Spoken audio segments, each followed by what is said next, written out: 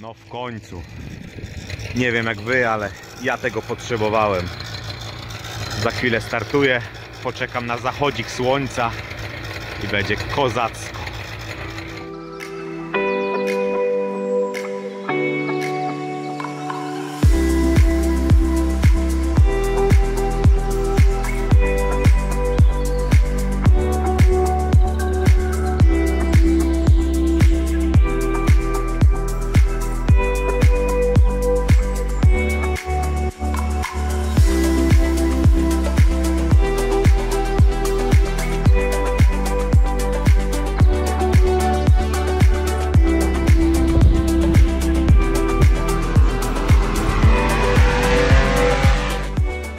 U nas dzisiaj zachód słońca 19.26 ale fajny locik